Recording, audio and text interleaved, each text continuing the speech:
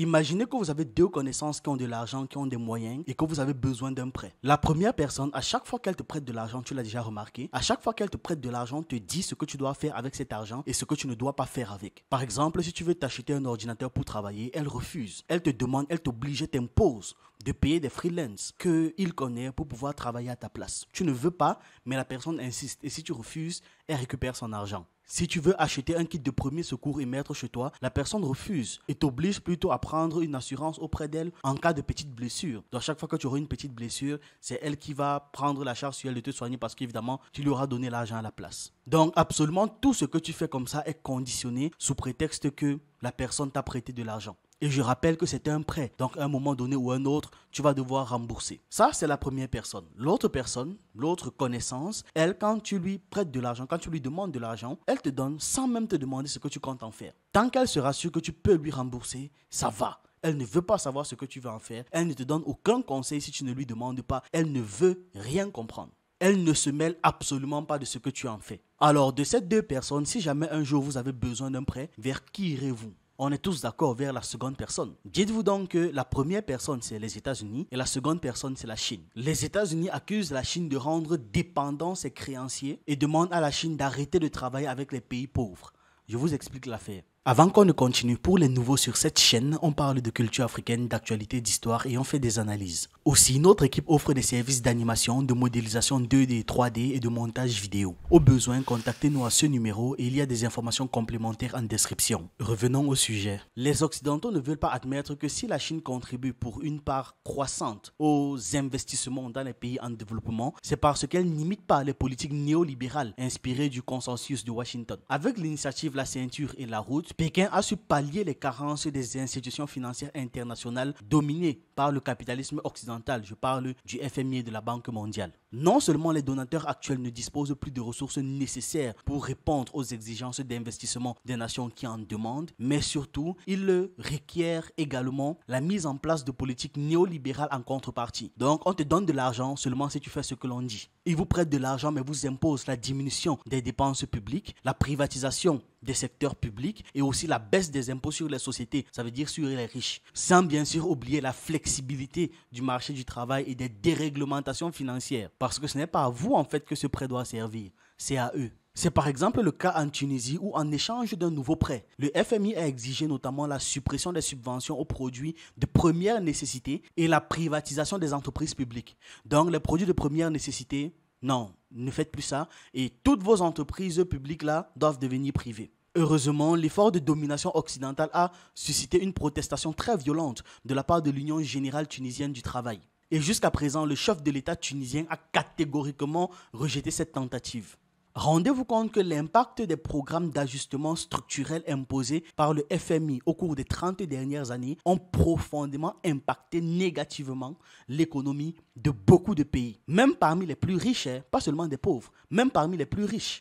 Durant la crise asiatique de 1997, l'application des principes néolibéraux des États-Unis avait déclenché des émeutes de la faim et avait laissé les économies émergentes dans un état déplorable. Il n'est donc pas étonnant que de nombreux États par la suite se soient retournés vers Pékin pour pouvoir justement obtenir les fonds sans avoir à affamer leur population. Avec la Chine, non seulement les moyens financiers et les expertises techniques permettent de faire face aux besoins des pays demandeurs, mais Pékin s'interdit toute ingérence dans leurs affaires intérieures et respecte leur souveraineté nationale. Et en contrepartie, la Chine n'impose aucune obligation concernant la politique économique des pays concernés. Ce qui veut dire qu'en clair, hein, les États, les pays qui veulent travailler avec la Chine ne sont pas contraints de privatiser des entreprises publiques, de diminuer les impôts sur les riches ou encore de déréguler les marchés financiers. Les pays font ce que bon leur semble pour le bien de leur nation. La Chine ne fait aucune ingérence, elle ne s'immisce pas dans les politiques intérieures dans l'économie des pays des gens, elle se contente de faire du commerce, point. La seule chose qui les intéresse, c'est de gagner leur argent c'est tout. Que tu deviennes riche au passage, que ça aide ton pays à se développer au passage, c'est très bien, mais ça ne les concerne pas. Et c'est très différent des offres occidentales souvent basées sur le fait qu'ils vont vous contraindre, vous imposer à faire des trucs. Et ces trucs qu'ils vont vous imposer là vont empirer votre situation, la situation de votre pays. Maintenant, vu que l'offre chinoise a connu un franc succès, ces détracteurs occidentaux sont contraints de faire feu. Ils sont obligés de tirer dessus.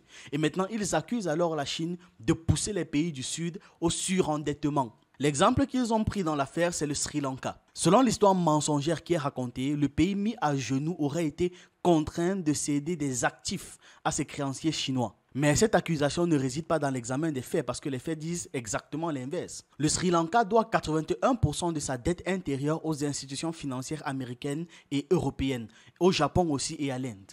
La Chine n'en détient que 10%. En réalité, le Sri Lanka a lutté contre le fardeau de la dette occidentale après avoir suivi 16 programmes de stabilisation économique imposés par le FMI. En 2021, par exemple, 47% de la dette intérieure était détenue par les fonds vautours et des banques occidentales. Les principaux prêteurs qui prenaient la forme d'obligations souveraines internationales sont BlackRock, qui est américain, Ashmore Group, qui est de, de la Grande-Bretagne, Allianz, qui est allemand, UBS, qui est suisse, HSBC, qui est britannique, JP Morgan Chase, qui est américain, et Prudential, qui est aussi américain. La Banque asiatique de développement et la Banque mondiale, qui, je le rappelle, est largement dominée par les États-Unis, détiennent respectivement 13% et 9% de la dette intérieure. Le Japon en détient 10% et l'Inde 2% du total. Mais peu importe les faits pour les Occidentaux qui s'énervent. Bien que la Chine ne détienne qu'un tiers de cette dette extérieure publique du pays, de nombreux médias occidentaux ont désigné Pékin comme étant responsable de la situation, l'accusant de poursuivre une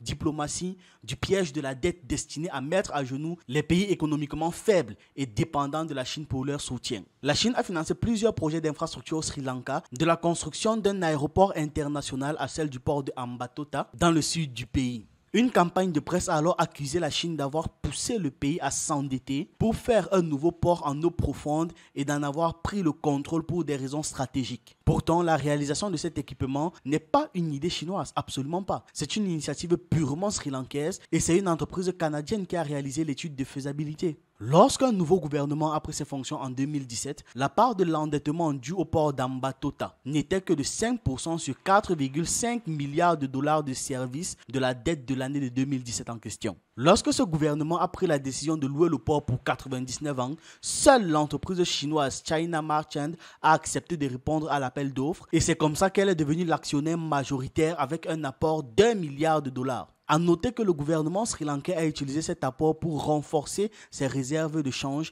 et non pour rembourser la banque chinoise. Donc c'est le Sri Lanka qui a voulu louer ce port pour 99 ans. Et maintenant, ils ont fait un appel public. Et ce n'est que cette entreprise chinoise-là qui a accepté. Personne d'autre n'a fait une offre. Comme le montre l'expérience du Sri Lanka donc, le procès occidental intenté à la Chine repose généralement sur de grossières manipulations de chiffres. En confondant la dette publique et la dette bilatérale, la propagande occidentale attribue frauduleusement à la Chine la responsabilité d'un surendettement qui est surtout dû à la hausse des taux d'intérêt et au fléchissement de la croissance mondiale. Ces accusations mensongères occidentales oublient de préciser que la dette extérieure d'un pays est divisée en trois composantes par type de créancier à savoir la dette publique multilatérale qui se fait auprès des institutions financières internationales, la dette publique bilatérale qui se fait auprès des gouvernements et la dette des créanciers privés qui se fait auprès des banques commerciales et d'autres organismes.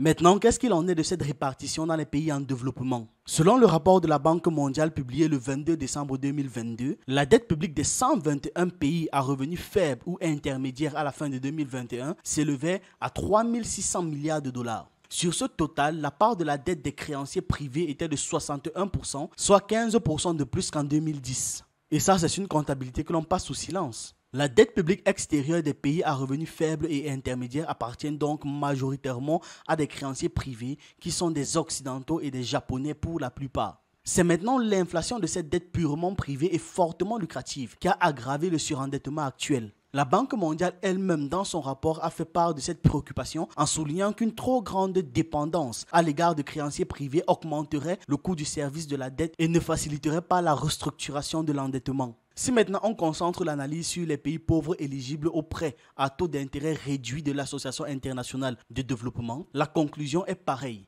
À la fin de l'année 2021, la dette extérieure publique des 69 pays éligibles à l'Association internationale de développement recensée dans un des derniers rapports de la Banque mondiale s'élevait à 1000 milliards, dont 202,5 milliards de dettes publiques bilatérales. Ce qui veut dire en fait que près de 80% de la dette des pays les moins avancés proviennent des institutions financières multilatérales et des organismes commerciaux occidentaux ou japonais. Si la déclaration de la Banque mondiale selon laquelle l'encours de la dette publique bilatérale des pays de l'Association internationale de développement envers la Chine s'élève à 100 milliards est exacte, il est donc possible de déduire que la dette publique bilatérale envers la Chine constitue effectivement 50% de la dette publique bilatérale, mais représente seulement 10% de la dette publique extérieure totale de ces pays. On pourra toujours tenter de mentir sur les chiffres ou alors de les détourner, mais il est clair que 90% de l'endettement des pays pauvres n'ont rien à voir avec le financement octroyé par la Chine.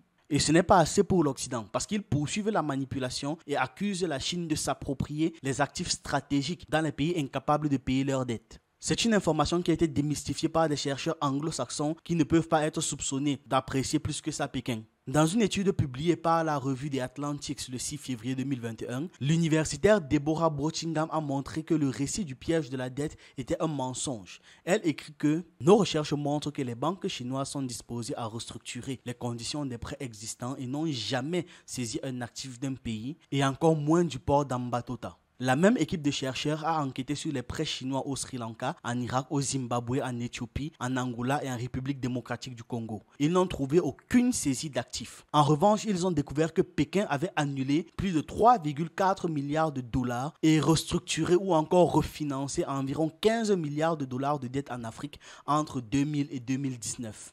Au moins 26 prêts individuels aux pays africains ont été renégociés. Enfin, la presse occidentale incrimine le manque de transparence des prêts chinois. Ils estiment qu'ils ne sont pas suffisamment transparents. Mais en fait, la raison est très simple. C'est juste que les prêteurs chinois abordent la restructuration discrètement, sur la base bilatérale, en adaptant leur programme à chaque situation, donc forcément à chaque pays. J'ai l'impression que c'est toujours la même histoire, la même chanson, toujours encore et encore. Seul l'Occident doit faire X et Y et personne d'autre. Si vous faites ça, c'est que vous êtes mauvais et ainsi de suite. Sérieusement, est-ce que la population occidentale ne trouve pas bizarre le fait qu'il soit toujours du bon côté? Importe ce qui se passe, peu importe ce qui arrive, peu importe l'incident qu'il y a dans le monde, peu importe le scandale, peu importe les questions qui sont soulevées, l'Occident est toujours du bon côté.